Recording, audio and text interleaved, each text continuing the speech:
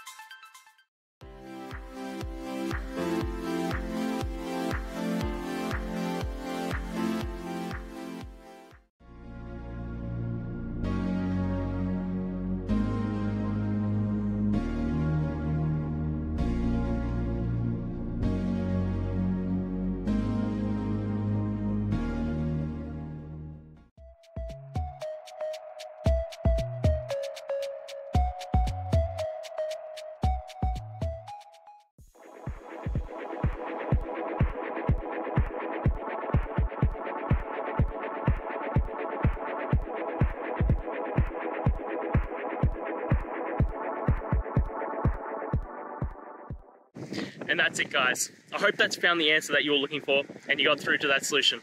If you did, please hit the subscribe button. I'd really appreciate it.